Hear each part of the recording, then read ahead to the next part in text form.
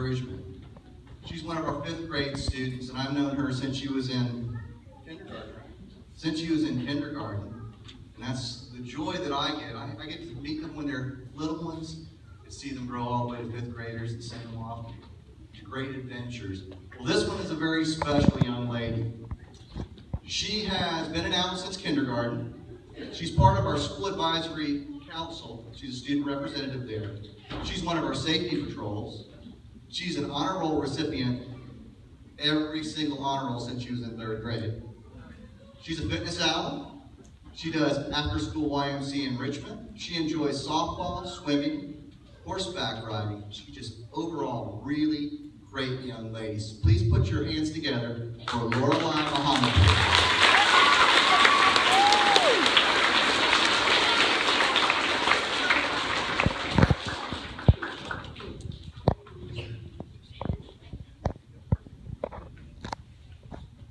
Pablo Picasso once said, Our goals can only be reached through vehicle plan in which we must fervently believe and upon we much and, and upon we and upon we must vigorously act.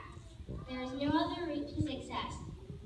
When that goes through my head, it comes out meaning success comes to those who work and not to those who wait. I see a lot of people in front of me who have worked and hard and who have succeeded. Here's the fact, not one of them is upset.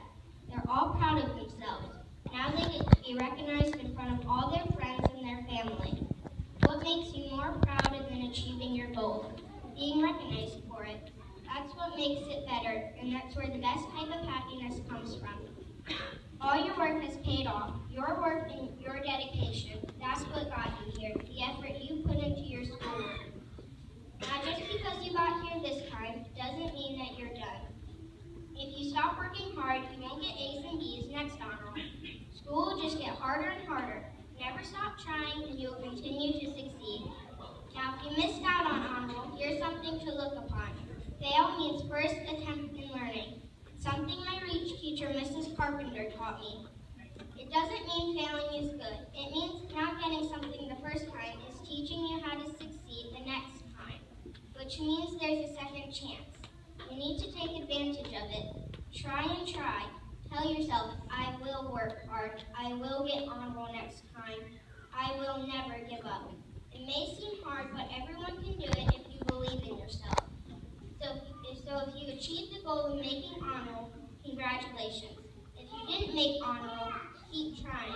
After all, the average human uses around 10% of their brain. By trying new things, learning new things, and practicing the new things, we can all become smarter. We can all become smarter and try to use that other 90%. We shouldn't compare ourselves to others. We should have a growth mindset which lets, lets us believe the positive truth that says, I am smart enough. And that message is like fuel in our gas tank. My wish is that we all go down the path of success. Our accomplishments give us strength, give us strength. What really matters is how we use this strength. We could use it wisely by making a new goal that's a bit harder than the last. We could also use it unwi- unwisely, like if we brag, we could lose friends. Remember, we are the school of the wise owls. So finally, in the journey of life, avoid the path of failure. Don't let yourself abandon the road of your own success and follow the path that leads you to your dream. Always be dedicated to your education because never in the history of ever will you know everything. If you keep learning new things, you'll keep moving down that path of success because the new information will lead you to your goal. If you don't want to learn, you have made a mistake. It's not impossible to achieve your goals. It's also possible to avoid mistakes. Granted, none of us are perfect.